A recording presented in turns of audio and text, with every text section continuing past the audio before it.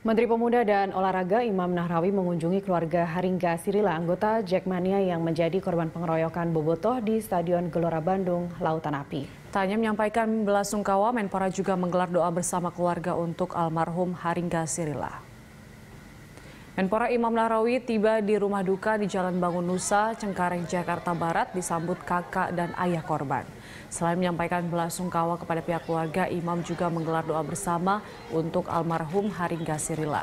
Di kesempatan itu pihak keluarga juga meminta kepada seluruh anggota Jakmania untuk tidak melakukan aksi balas dendam atas meninggalnya putra mereka Haringga Sirila.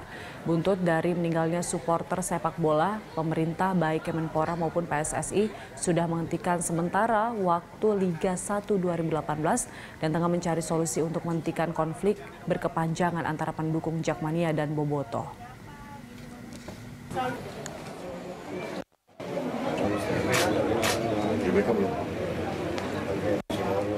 Cukuplah hari ini menjadi yang paling terakhir. Gak ada lagi korban berjatuhan gara-gara sepak bola. Dan jangan sampai ada balas dendam, jangan sampai ada pertumbahan kemarahan dan permusuhan.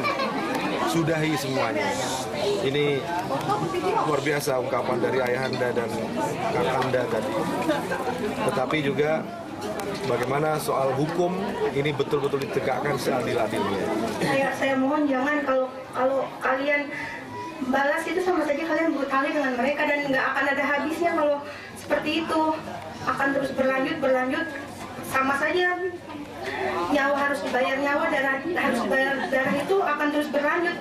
Dan itu jangan jangan sampai seperti itu karena kehilangan orang yang kalian sayang itu seperti ini tuh sakit sekali. Jangan jangan sampai terjadi lagi. Saya harap udah stop